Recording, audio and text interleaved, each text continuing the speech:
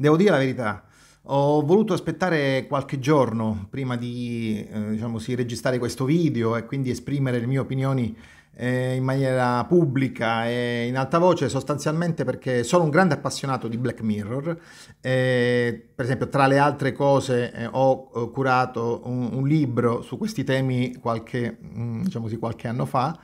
Eh, però non era questo il punto. Il punto è che ehm, aspettavo come tanti eh, questa sesta stagione di Black Mirror eh, mi aspettavo che eh, appunto che fa- fa- facesse fuoco e fiamme, diciamo così, nel, eh, rispetto al mio immaginario, a quello che mi aveva abituato Black Mirror, quindi tecnologia, distopia, eh, in, diciamo così, interferenze con la vita eh, delle persone sia dal punto di vista di singoli individui che dal punto di vista della società, cioè ero, diciamo così, mh, mm, ero avevo delle aspettative piuttosto alte, dato che tra l'altro la quinta stagione era uscita nel 2019, quindi non solo di mezzo c'erano stati eh, diversi cambiamenti, dalla guerra in Ucraina fino alla pandemia, eh, ma anche perché ovviamente c'era mh, mm, la questione della, di, diciamo così, che la tecnologia era andata molto molto avanti, quindi molto, avevo delle, delle aspettative molto alte. Eh, poi ho visto la serie, mm, eh, ho visto tutte le puntate, non in modalità binge watching, ma in modalità appunto gustandomele una dopo l'altra. E ovviamente come, come molti sono stato spiazzato perché sembrerebbe, e uso il condizionale in maniera approfondita, eh, sembrerebbe che questo nuovo Black Mirror non abbia nulla a che vedere col Black Mirror a cui siamo stati abituati. In realtà, secondo me, il, mm, il, diciamo così, il gioco narrativo di Charlie Brooker è stato un po' diverso, cioè quello di eh, non farci vedere una serie televisiva, ma farci entrare in una serie televisiva. Adesso piano piano cerco di sviluppare tutti, tutti i punti. Um, questo, il mio video sarà strutturato in questo modo. Uh, prima parlerò un po' di cose in genere sul, su, diciamo così, su questa sesta stagione di Black Mirror, dopodiché farò una brevissima analisi eh, dal mio punto di vista degli episodi che compongono questa stagione, dopodiché cercherò di riflettere su qual è il senso complessivo di questa stagione e soprattutto cercare di capire se veramente eh, noi appassionati siamo stati traditi dal progetto Black Mirror oppure no. Come tutti sanno, Black Mirror è una serie creata da Charlie Brooker che ha le sue origini in, molti anni fa in Channel 4 e poi è passato, eh, diciamo così, è diventato una, una um, serie antologica come già era dalle sue origini eh, su Netflix a partire, se non ricordo mai, dalla terza stagione. Allora, mh, mm, Charlie Brooker è lo sceneggiatore principale di, di, Black Mirror, è quello che ha inventato il progetto, è quello che ha anche firmato la stragrande maggioranza degli episodi. Tra l'altro di questa sesta stagione lui ha firmato tutti gli episodi e adesso cercherò di illustrare da cosa si capisce perché questa cosa ha un suo ruolo e una sua importanza. Ehm, ci, quali sono il, qual è il buzz, quindi il, il chiacchiericcio che ha circolato in questi, in quest, nelle settimane immediatamente precedenti la, l'uscita di Black Mirror? Allora,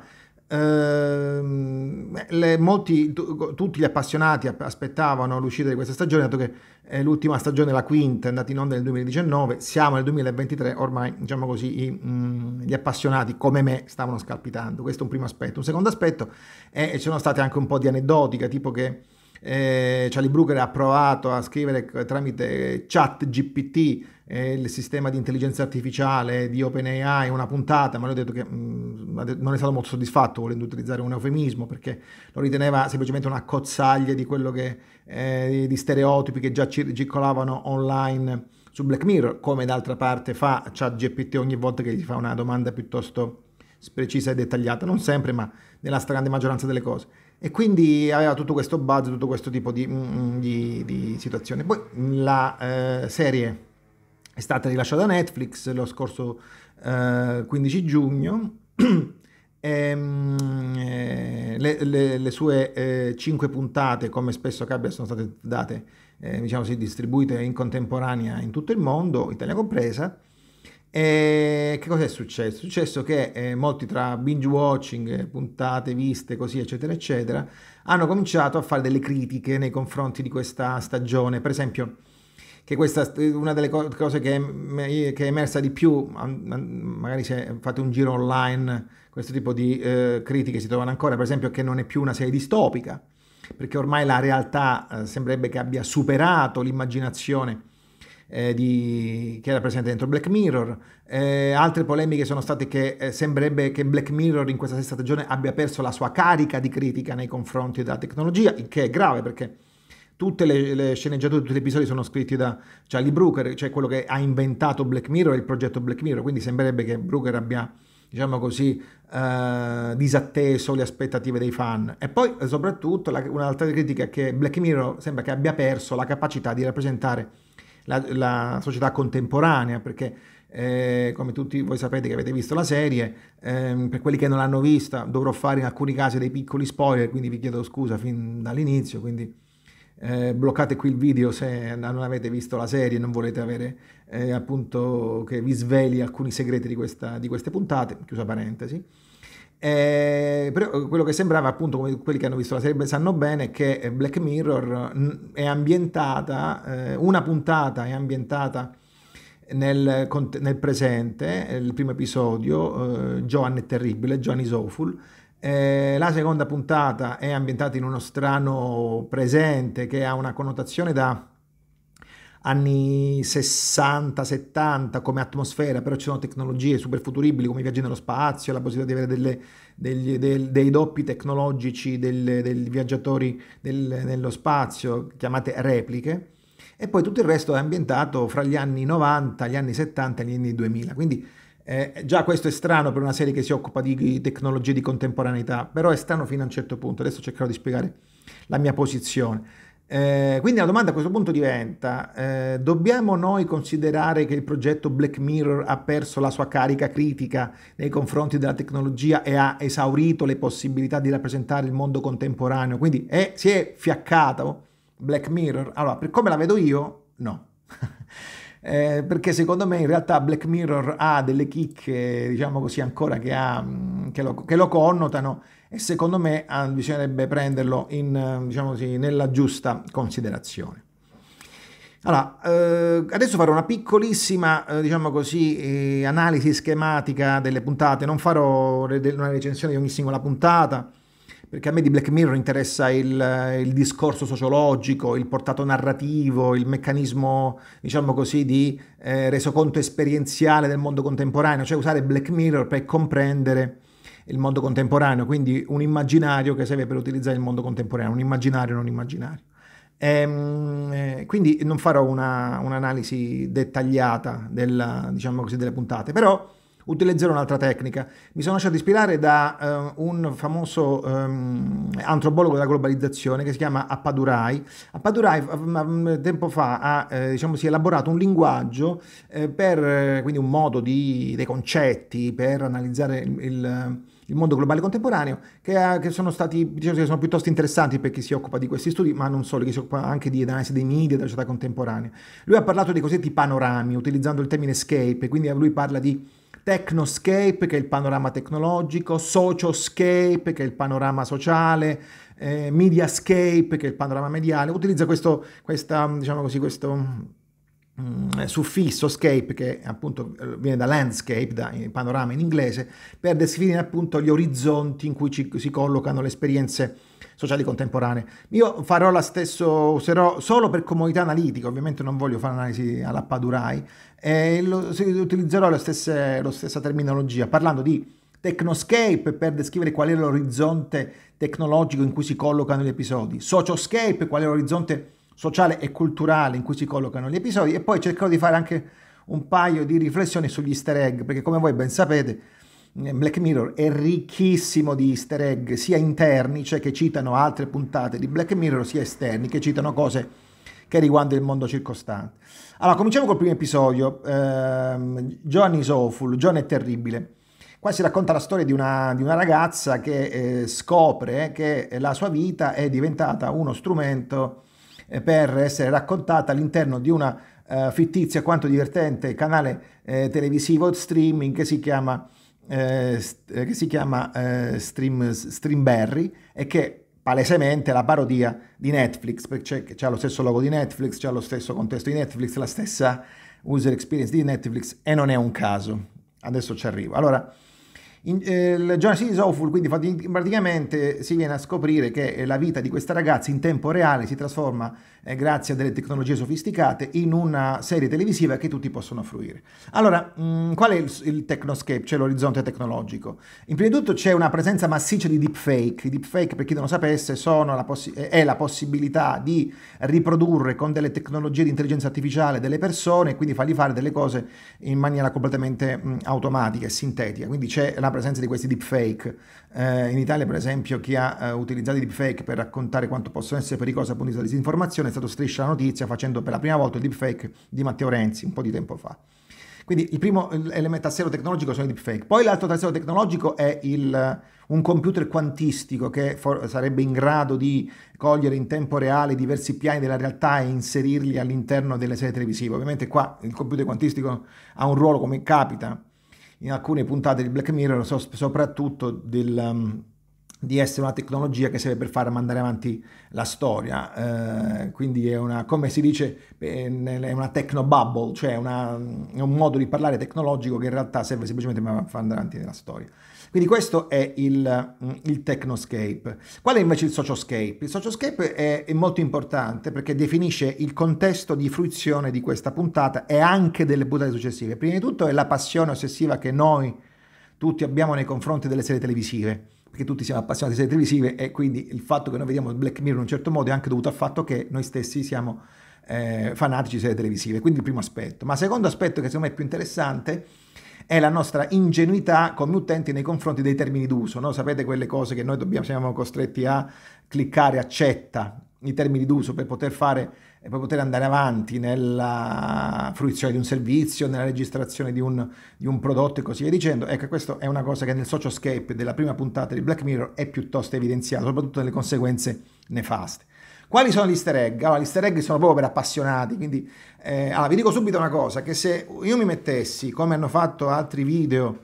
soprattutto in ambito internazionale, in, di lingua inglese, ad analizzare gli easter egg uno per uno, sfruttando i nomi, i ritagli, i dettagli, eccetera, eccetera, non ne usciremo più. Io diciamo così che cerco di concentrarmi sugli easter egg che, uh, che io ho riconosciuto subito nel momento in cui li ho visti. Ovviamente il primo easter egg il primo easter egg in assoluto che, che, a me ha molto colpito è la famosa canzone che si sente quando mh, mm, la protagonista del primo episodio di Johnny Soful va a trovare il suo, il suo, ex e in questo locale in cui si incontrano c'è eh, la famosa c'è una canzone molto celebre che è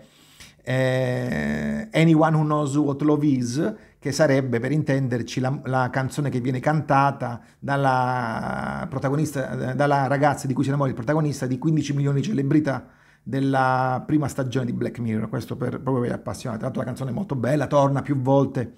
dentro le, la serie, le varie stagioni della serie Black Mirror, però questo per dire è una cosa che tutti gli appassionati di Black Mirror sono in grado di conoscere. L'altro easter egg è ovviamente Strimberry, cioè il fatto che eh, la Johnny Soful è, racconta di questa eh, eh, diciamo così, racconta del fatto che le persone fruiscono delle serie televisive guardando questa, eh, questo canale streaming che si chiama Streamberry, che è una parodia eh, nel, diciamo così, nel nome, ma in realtà è, dal punto di vista grafico è praticamente indistinguibile da, da, da Netflix, il che è curioso, ma non dal punto di vista della costruzione narrativa e dell'esperienza Black Mirror, no? è curioso perché noi siamo su Netflix a vedere eh, qualcuno che sta guardando la parodia di Netflix, quindi c'è una, un livello metalinguistico che tornerà tantissime volte in questa, in questa stagione. L'altra cosa che mi, che mi, ha colpito è che, eh, diciamo così, nella,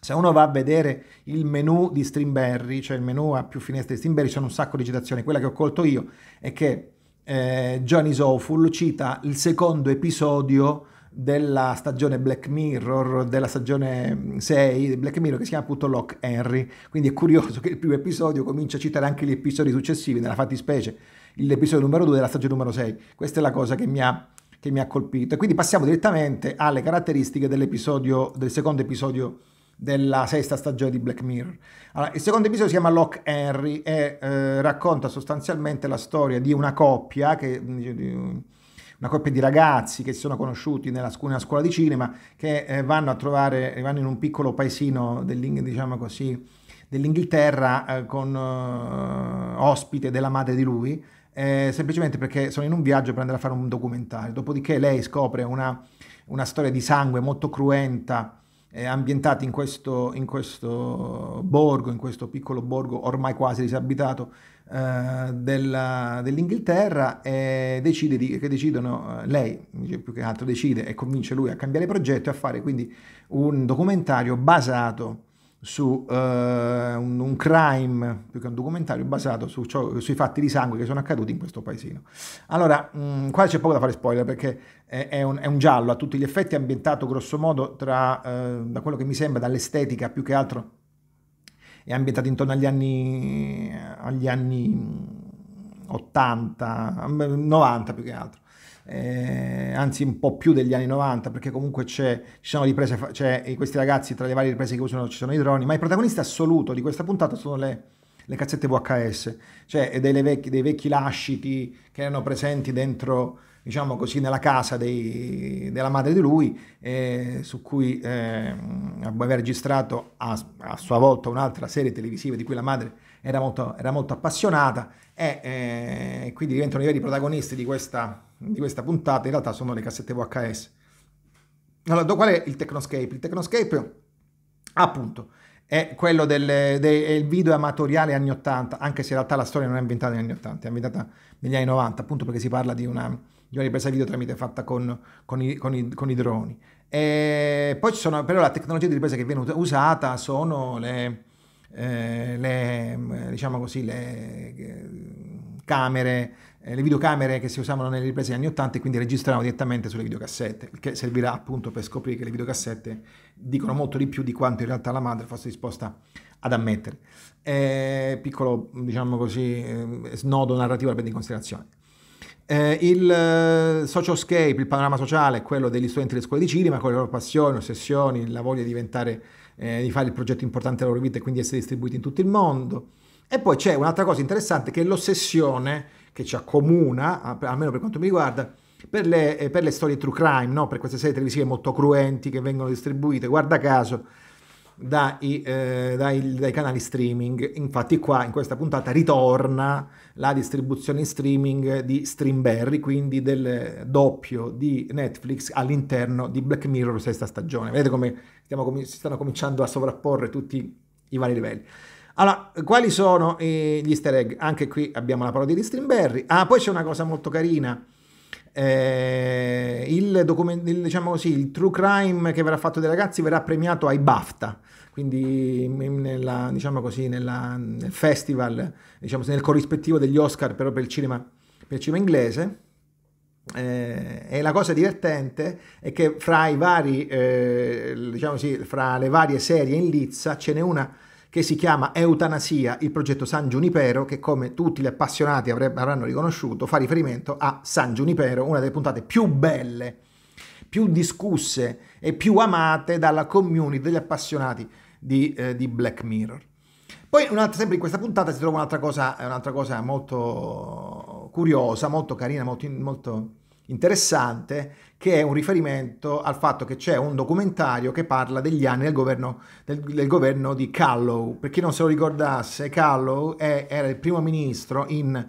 eh, messaggio al primo ministro della prima puntata del pilot, il Black Mirror, in cui appunto la storia raccontava un primo ministro che era costretto a fare degli atti contro natura in diretta televisiva. E questo per dire appunto come poi alla fine il mondo Black Mirror tende a uh, sovrapporsi e a, diciamo così, diciamo così, a, a autocitarsi per creare un universo narrativo piuttosto coerente. Il terzo eh, episodio della sesta stagione, eh, che si chiama Beyond the Sea, in fondo al mare, sarebbe, anche se in italiano ha lo stesso, diciamo così, ha lo stesso titolo. E, um, I titoli non sono tradotti in questa stagione, eh, tranne eh, Johnny Awful. Johnny è terribile, ma perché c'è un motivo a cui adesso piano piano arriverò. Allora, in questa stagione, è, è, diciamo così, l'atmosfera è molto anni anni 70, soprattutto l'esplorazione, l'esplorazione spaziale degli anni 60-70, per intenderci l'atmosfera che si respira sembrano quasi eh, Cape Canaveral del 1969. Eh, però le tecnologie sono estreme, infatti eh, si racconta la storia di, mh, mm, due, a, dice, di, di, due astronauti che stanno facendo un viaggio eh, lungo, in, nello spazio, ma per cercare di mantenere la loro psicologia stabile hanno la possibilità di utilizzare un, uh, dei, dei, doppi, eh, quasi dei robot, non si capisce bene così, però sono dei doppi eh, fisici che vivono con le proprie famiglie e che permettono loro appunto di rilassarsi e di passare del tempo con le loro famiglie, quindi mantenendo salda la eh, tremenda solitudine che hanno due astronauti nel fare questi viaggi interstellari. Questi doppi si chiamano mh, mm, repliche, appunto questi, quindi vedete, si torna sempre con la fantascienza, repliche, replicanti. Tra l'altro questo è l'episodio in cui il protagonista è Aaron Paul, per intenderci uno dei due protagonisti di, di mm, Breaking Bad. Allora, il, la storia è terribile, è molto cruda e molto cruenta, ma ha una bellissima atmosfera, eh, diciamo così, molto poco tecnologica anzi pochissimo tecnologica, molto, atmosfera molto bucolica. E questa atmosfera bucolica viene rinforzata dal fatto che la musica utilizzata è, è quasi, mm, è, diciamo così, è, tutta musica degli anni, eh, non sono un esperto, ma mi sembra che sono gli anni 60 francesi, mm, c'è appunto la Mer, questi, questi, questi brani qui. Eh, allora, qual è il technoscape di, questo, di Beyond DC? Il technoscape, quindi il panorama tecnologico, eh, è, sono i viaggi interstellari e l'utilizzo dei replicanti, quindi, eh, scusate, delle repliche. quindi abbiamo tecnologie sofisticate, molto avanzate, in un contesto che sembra molto, molto classico, molto negli anni 70. Lo socioscape invece è più interessante, perché prima di tutto ci sono delle, diciamo, c'è una, una vicenda all'inizio che, eh, diciamo così, eh, in cui c'è un gruppo di scalmanati che eh, decidono di, di, fare violenza nella famiglia di uno dei due protagonisti. e eh, il riferimento, ovviamente, la citazione è quella di eh, Charles Manson and the Family, quindi il, la strage di Sharon Tate, la morte di Sharon Tate, la strage, la strage di, quel, di, quel, periodo storico che tra l'altro è stato anche raccontato da, da Tarantino in C'è una volta, eh, raccontato e diciamo così, reinterpretato da Tarantino in C'è una volta a Hollywood. È, è, è, il motivo per cui questo gruppo di persone, eh, questi freak, diciamo così, lisergici e violenti, decidono di uccidere è dovuto soprattutto ad una, una reazione luddista, cioè il fatto che queste repliche sono degli insulti a Dio o comunque alla, alla, allo stato delle cose, proprio perché sono dei doppi e hanno, sono dei robot che possono fare le, tutte le cose tutte per tutto. Questo è, questo è il Technoscape e il Socioscape. Qual, qual è l'easter egg? Mm, l'easter egg è più che altro nella locandina, perché nella locandina c'è un riferimento alla, al, al, logo di eh, Orso Bianco White Bear, quello strano simbolo che eh, faceva parte del tatuaggio di eh, uno dei due assassini della, della ragazzina dell'episodio famoso di, di, Black Mirror, quello per intenderci ambientato in una specie di Disneyland, però in cui eh, lo scopo è quello di eh, continuare a torturare eh, psicologicamente eh, uno dei due protagonisti di questo terribile omicidio nei confronti di una, di una, di una ragazzina. Eh, ci sono altri easter egg, per esempio c'è eh, un riferimento alla fittizia serie televisiva di Black Mirror che si chiama Il mare della tranquillità. Eh, è, è, ovviamente un dettaglio praticamente un, quando uno dei due protagonisti esce dal cinema c'è un manifesto e c'è appunto un dettaglio su questo mare della tranquillità. Per chi non se lo ricordasse, il mare della tranquillità è una fittizia serie televisiva che esiste solo dentro Black Mirror, eh, cui, in cui il fandom e gli appassionati di questa serie vengono incontrati da lesi nella famosa puntata Nosedive, caduta libera, no? per intenderci la puntata in cui c'era questa specie di mondo in cui le persone potevano, tutto quello che potevano fare dipendeva dai like che ricevevano all'interno di una, di una, di una app piuttosto particolare. E questo era Beyond the Sea. Con Beyond the Sea abbiamo proprio lo spartiacque perché abbiamo la, eh, tecnologie sofisticatissime eh, come Black Mirror classico, però in un contesto assolutamente bucolico, eh, anzi praticamente agnostico nei confronti di queste tecnologie, perché poi le reazioni sono più che altro di tipo psicologico ed emotivo. Eh, e poi abbiamo due, due episodi che eh, con la tecnologia sembra non, fa, non centrarci praticamente nulla. Infatti ho fatto uno sforzo per mantenere la distinzione technoscape, socioscape. Allora, uno è Mezzi Day. Mezzi Day è la storia di questa, di mm, questa ragazza che fa eh, il, eh, la paparazza, il paparazzo, chiamiamola comunque, eh, fa delle foto scandalistiche per delle testate giornalistiche online, perché la serie, eh, scusate, la puntata è ambientata in quello che si, sembrerebbe essere la fine degli anni 90 e l'inizio del 2000. E, e però questa, questa, ricerca, soprattutto di un'attrice in particolare, questa Mezzi Day, eh, porterà ad una svolta che potremmo dire horror weird, che con la tecnologia non c'entra assolutamente niente. Il Technoscape qual è? Il Technoscape è quello della tecnologia dei fotografi scandalistici statunitensi degli anni 90, primi anni 2000, quindi abbiamo eh, schede delle macchine fotografiche, macchine fotografiche, la possibilità di passare le fotografie dalla macchina fotografica al computer, il collegamento internet c'è, ma si fa con i modem, quindi con i famosi modem eh, che, fanno, che, che fischiettano eh, di Windows 3.11, quindi per chi è del periodo ricorda un sacco di citazioni tecnologiche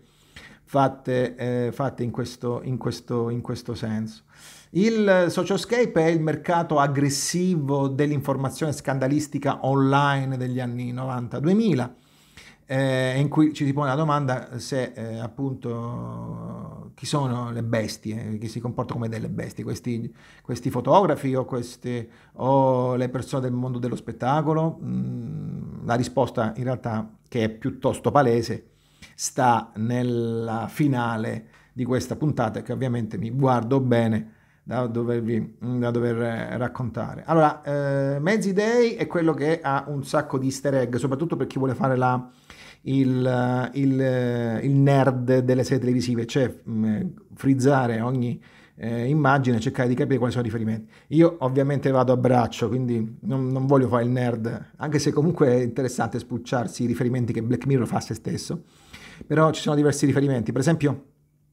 eh, nella prima, l'episodio iniziale in cui si vede il lavoro che fa questa ragazza, lei fa, eh, diciamo sì, paparazza una, un rapporto omosessuale di un protagonista di un'importante serie televisiva e questa importante serie televisiva è proprio Il mare della tranquillità, The Sea of Tranquility, che quindi è appunto questa fittizia serie televisiva di Black Mirror. Poi si vede un'altra scena in cui questi paparazzi inseguono una, un gruppo di paparazzi di notte, inseguono una uh, quella sembra essere una VIP con delle foto, facendo anche delle foto in, in, diciamo così anche di, di, gusto terrificante, c'è un fotografo che decide di fare una foto sotto la gonna di questa, di questa quella che sembrerebbe un'attrice, una soubrette, non si capisce bene, che si sta dirigendo verso un club, il club si chiama Quagmire. Allora, è, il riferimento ovviamente non è, almeno non credo che sia Quagmire quello di um, Family Guy, eh, però eh, lo stesso, il nome dello stesso club è presente una, nel, nel, club, quindi della discoteca, è presente eh, una, nella puntata San Giunipero, quindi c'è una specie di citazione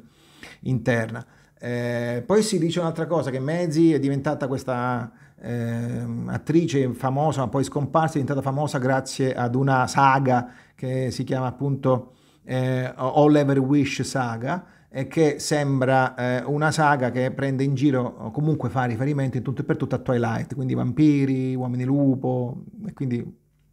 per chi ha visto la serie il fatto che c'è questo riferimento dice qualcosa in più sullo svolgimento, sullo svolgimento della trama. Poi c'è un'altra cosa che io ho, mi è parso di aver visto, ma confesso che non sono andato a controllarlo. Allora, eh, si vede in, durante l'episodio il fatto che questa ragazza in due volte si va ad una ad una tavola calda vicino ad un posto dove si disintossicano i VIP che si chiama Emerald Pine. Non vorrei sbagliarmi, ma in una delle inquadrature prese dall'altro di Emerald Pine, a un certo punto Emerald Pine c'è un glitch che lo trasforma nel logo eh, del, del, dello smiley di Black Mirror. Non vorrei esservelo immaginato perché va fuori di vedere queste puntate può capitare, però mi sembra che fra i vari easter egg ci potrebbe anche essere questo. Confesso che non l'ho controllato. Magari se voi vi capita, ancora avete visto la puntata, la puntata Mezzi Day, la quarta eh, puntata della sesta stagione, quindi se vi capita fate un'occhiata. C'è questa presa dall'altro di,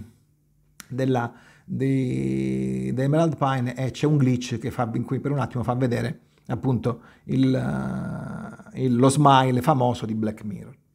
Dopodiché c'è l'ultimo episodio che si chiama um, eh, Demon 79, Demone 79, che è un episodio curioso perché è un episodio completamente weird, è completamente horror, di tecnologia non c'è l'ombra, eh, proprio non c'è l'ombra, l'unica ombra che c'è è quella del, di una televisione eh, anni, eh, anni 80, ma proprio tra la fine del 79 e l'inizio degli 80 dove è ambientato questo episodio eh, quindi il Technoscape è praticamente inesistente. Il Socioscape invece c'è, il socioscape, perché ha un orizzonte so- sociale, quindi ci deve essere per forza eh, ai fini narrativi, c'è eh, fondamentalmente, mi sem- si sembra di cogliere l'Inghilterra eh, di Margaret Thatcher, quindi una Inghilterra molto reazionaria, e soprattutto un'Inghilterra molto molto critica nei confronti della eh, migrazione estera, il che eh, diciamo così, fa parte del, diciamo così, della narrazione perché eh, la protagonista di, questa, di, questo episodio è un'immig- un'immigrata indiana che subisce delle vessazioni da parte della collega, da parte del, del padrone del negozio di scarpe dove lavora. Ehm, dunque, quali sono gli easter egg? Anche qui, easter egg ce ne sono tantissimi. Il sigillo del demone mh, mm, che viene evocato, perché c'è proprio un demone evocato, proprio è un horror a tutti gli effetti. Un horror come si usavano, diciamo così, negli anni Ottanta. Infatti, oltre a esteticamente ricordare i film di Black Exploitation, con le inquadrature, eccetera, eccetera, quelle più oniriche, c'è un riferimento molto classico al uh, film uh, La zona morta, The Dead Zone, in cui si racconta appunto la storia di, una, di, un, di, di Christopher Walken che si, da, una, da, un racconto di Stephen King, in cui si risveglia da, una, da, un coma e scopre di poter prevedere il futuro, tra cui il futuro del primo ministro che, divent, che diventerà una persona molto violenta e quindi che lui deciderà di uccidere. Non ho fatto spoiler perché in realtà il, um, il film poi si svolge su, trame, su, una trama, diciamo sì, in cui questo, questo snodo narrativo importante è piuttosto diverso. Quindi c'è questo riferimento all'horror degli anni 80 anche nelle black exploitation del, diciamo, degli anni 70. Degli anni 70. Ehm, altre citazioni, ehm, dunque, c'è una sezione interessante. Uno, il, il giovane rampante politico che nel, nella visione della protagonista dell'episodio diventerà un, terri- un politico che farà del male eh, nei confronti delle persone è, eh, si chiama Michael Smart e questo Michael Smart viene citato in tutti i ritagli eh, della puntata mh, mm, di Locke Henry, quindi eh, c'è una citazione incrociata al, interna alla stagione numero, eh, numero 6. E, ehm, poi si vede anche un'altra cosa, che questo, sempre in questa visione della protagonista dell'episodio, questo eh, giovane eh, politico rampante che diventerà un terribile primo ministro inglese, Michael Smart, eh, in realtà sarà responsabile di introdurre una polizia robotica fatta da cani robot che inseguono le persone. I cani robot, manco per farla apposta, sono è il cane robot che viene raccontato nell'episodio eh, Metalhead, sempre della terza stagione, sempre di Black Mirror, mi pare che fosse della terza stagione, quindi Black Mirror che cita se stesso. Allora, mm, questo è per quanto riguarda il, eh, diciamo così, l'orizzonte, l'orizzonte delle, dei technoscape, socialscape e citazioni. La domanda a questo punto diventa Black Mirror ha perso la sua carica distopico verso la tecnologia ed è diventato semplicemente una serie horror weird? No, secondo me no. Perché secondo me c'è un'altra interpretazione che noi possiamo dare. Allora, diciamo che l'unico vero episodio nello stile di Black Mirror è Johnny's Awful, quindi il primo episodio della stessa stagione, quello che dà il là a tutta la stagione. Però non è solamente un episodio. Vi ricordo che la trama è una ragazza che guarda uh, una, uh, un canale di streaming che, al, che a sua insaputa l'ha, fat, l'ha, fatto diventare, grazie ai deepfake, l'ha fatto diventare la protagonista di una serie televisiva in cui lei fa la figura di quella di essere una persona terribile, da cui appunto il nome della puntata. Quindi c'è questo livello metanarrativo. Però Black Mirror, con questo, eh, diciamo così, la serie, eh, la sesta stagione, con questa caratteristica, non solo ci sta dando una bella puntata distopico di Black Mirror, ma ci sta anche dicendo, guarda che così come è, è, la ragazza Joan è diventata protagonista della serie de, su Streamberry, tu diventerai protagonista della serie su um, Netflix. E come fa a farlo? Allora, eh, prima lo fa con un lancio di marketing, c'è un sito che si chiama youareawful.com in cui noi possiamo appunto diventare protagonisti di questa serie televisiva è un sito divertente promotional marketing, youareawful.com, in cui si chiede di scattarti una foto, di accettare eh, le, eh, diciamo così, le regole di, eh, in termini di, servi- di, di, utilizzo del servizio e poi si diventa, virgolette, virgolette,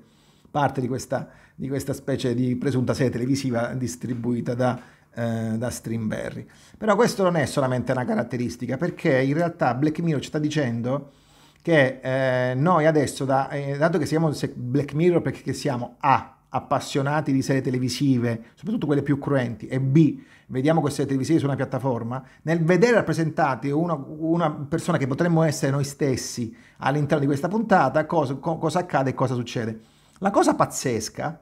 è che le altre puntate servono semplicemente per farci capire che noi siamo parte di questo meccanismo narrativo. Locke Henry che dice che eh, Locke Henry ci dice sostanzialmente eh, tu stai seguendo Black Mirror, bene, ma tu sei parte di questa narrazione perché come i protagonisti eh, hanno, diciamo così, praticamente venduto l'anima al diavolo, con tutte le virgolette, non è questo il caso, però per fare una puntata, un crime, una serie crime su dei fatti di sangue, tu in realtà stai vedendo una serie distopica che racconta le puntate crime una serie di sangue. Quindi c'è questo meccanismo, questo, quest'altro meccanismo narrativo. Inoltre c'è un altro elemento che secondo me eh, rinforza, rinforza, dà eh, sostegno a questa mia interpretazione, cioè il fatto che Black Mirror è diventato horror perché in realtà ci vuole far riflettere sul fatto che stiamo vedendo una serie televisiva di cui in realtà noi siamo stati protagonisti a partire dalla prima puntata. Allora, sono, tutte puntate, sono tutti episodi, tranne il primo episodio, appunto, Johnny Awful, che è un episodio in puro stile Black Mirror con elementi di, di tecnologia contemporanea, di fantascienza molto eh, tarata sul, sul, sull'oggi, e di strumenti che esistono, i deepfake, i computer quantistici, eccetera, eccetera. Altri, e poi c'è l'episodio, diciamo così, più, oh, più avveniristico, che parla di spazio, di fantascienze, di viaggi, di viaggi che però vengono resi sostenibili grazie alla presenza delle repliche in realtà tutti gli altri episodi sono episodi vintage. Ehm, Lock Henry ambientato negli anni 90, eh, Mezzi Day ambientato negli anni 2000, eh, Demon 79 è ambientato nel 1979, quindi perché la tecnologia, l'atmosfera culturale è quella del 79 e anni 80, persino il, diciamo così, eh, i programmi televisivi in cui ci sono i Bon AM eh, con la loro musica in televisione eh, cercano di dare quel tipo di, di atmosfera. Però il, ehm, pur essendo, diciamo così, non avendo un, un, so, un technoscape piuttosto identificato, in realtà il, la ricerca nei confronti della tecnologia del periodo storico di cui es, queste puntate sono rappresentazione è molto ben fatta, cioè le tecnologie degli anni 90 sono quelle degli anni 90, le tecnologie video degli anni 80 sono quelle degli anni 80, le tecnologie eh, no, le tecnologie assenti degli anni 70 sono quelle degli anni 70, l'unica tecnologia presente è un televisore. Quindi in realtà c'è questa ricerca, un po' come era accaduto anche in Bandersnatch, cioè per, per intenderci l'episodio di Black Mirror in cui si potevano scegliere come far progredire l'episodio utilizzando una scelta fra delle opzioni possibili. In Bandersnatch era, applicato, era ambientato negli anni 80, eh, però gli anni 80 dal punto di vista tecnologico, quello dei videogiochi, dei, della scrittura degli episodi, del meccanismo narrativo dell'ambientazione era perfetto era molto molto ben fatto. Quindi eh, in realtà ehm, cosa succede? Perché c'è questa, eh, c'è questa componente? Ah, perché Black Mirror ha la prima puntata che è stile Black Mirror e tutte le altre che non lo sono? La prima puntata della sesta stagione e tutte le altre cinque puntate, eh, scusate, quattro puntate della stessa stagione non lo sono più tecnologiche. Perché in realtà il, il tema non è più la tecnologia, ma siamo noi che in un mondo tecnologico guardiamo le puntate sulla tecnologia di una serie televisiva. Quindi è così come Bandersnatch ci ha fatto entrare dentro Black Mirror scegliendo eh, come progredire l'episodio, adesso il, la sesta stagione ci sta, ci, ci sta dicendo guarda che tu non ti puoi più tirare indietro, non sei solamente più uno che sceglie, ma tu sei parte integrante di questo meccanismo, tu sei parte integrante di questo mondo tu con le tue fissazioni per le serie televisive, con lo streaming su Netflix, che qui si chiama Streamberry, e con tutte queste caratteristiche, con questi eh, riferimenti, diciamo così, eh, di ricerca, eh, delle citazioni incrociate, in realtà tu sei parte integrante di questa esperienza, tu sei antropologicamente dentro la narrazione di Black Mirror, il che rende Black Mirror, la sesta stagione, una rivelazione dal punto di vista sociologico, antropologico e dell'immaginario. Quindi la sesta stagione, se noi continuiamo a vederla come vediamo adesso come Brooker eh, ci racconta il mondo contemporaneo, è una delusione. Ma se noi la vediamo come vediamo adesso come Black Mirror ci fa entrare come parte integrante di questo mondo delirante, da questo punto di vista Black Mirror, sesta stagione, ha raggiunto un apice, secondo me, molto molto molto interessante su cui avremo modo di riflettere. Quindi, come, diciamo così, quali sono le conclusioni che possiamo trarre da questo tipo di meccanismo? Black Mirror vuol dire schermo nero, no? Eh, uno schermo nero che è uno schermo riflettente. Quindi le prime cinque stagioni di Black Mirror ci hanno fatto rispecchiare in questo schermo nero, cioè vediamo le puntate e riconoscevamo il contemporaneo. Con Bandersnatch noi siamo eh, entrati in, uh, abbiamo scelto in questo schermo nero, siamo diventati, l'abbiamo utilizzato in maniera interattiva in questo schermo nero. Con la sesta stagione non solo abbiamo rotto lo schermo nero, siamo caduti in questo schermo nero e stiamo cominciando di questo schermo nero a vedere quanto è profonda la tana del bianconiglio. Black Mirror comincia come uno specchio, la sesta stagione eh, è una rottura dello specchio come Alice nel Paese delle Meraviglie. Vediamo quanto è profonda la tana del bianconiglio. E non per niente questa è una citazione di uno dei film più visionari su tecnologia e contemporaneità che è Matrix del 1999. Quindi attenti a dire che Black Mirror ha perso la sua carica. Ha perso la sua carica se noi ci poniamo come spettatori, cioè vediamo cosa mi racconta eh, Charlie Brooker sulla tecnologia contemporanea. Ma non ha perso per niente la sua, eh, la sua carica critica, distopica del mondo contemporaneo attraverso la tecnologia, se noi lo vediamo come noi siamo parte integrante culturalmente, sociologicamente, antropologicamente di questo mondo, perché noi stessi stiamo vedendo una serie televisiva che parla di puntate horror di uno streaming che in realtà esiste anche all'interno di questa stessa serie televisiva. Quindi non è un caso che c'è una citazione di Netflix con Streamberry. Non è un caso che si è passati dalla fantascienza all'horror, perché non potevi raccontare di fantascienza, una, non potevi essere parte di questa fantascienza con una narrazione fantascientifica, si sovrapponevano troppo i livelli. Ma si usa l'horror per dire guarda che tu stai guardando una serie televisiva di cui tu sei parte integrante, così come la parte integrante la poverina Johnny Zoful, che attraverso i deepfake cominciava a diventare un protagonista in senso negativo della uh, della serie televisiva di cui tutti poi stavano cominciando a parlare, appunto Johnny's Awful. Questo è il mio punto di vista. Non, non, è particolarmente, diciamo così, non so se è particolarmente interessante, però io ci ho pensato molto tempo e ho detto, Charlie Brooker non è mica pazzo, perché ha, ha dato questa svolta a Black Mirror per dirci che in realtà Black Mirror siamo noi? Ce l'ha detto in tutti i modi possibili. Prima era un noi lontano, le puntate che vedevamo, poi noi vicino, Bandersnatch, adesso siamo proprio noi, Johnny's Awful. Davide is awful. E tutti voi che state guardando siete terribili perché avete visto questo video che parla di Black Mirror che vi racconta come voi stessi siete dentro Black Mirror. Vabbè, sto delirando, sto scherzando,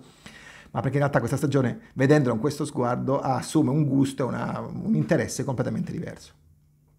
Voi che cosa ne pensate? Stagione 6 ha, ha un senso oppure no? Black Mirror ha perso la sua carica eh, distopica oppure no? Ditemi il vostro punto di vista. E grazie per aver seguito fino adesso.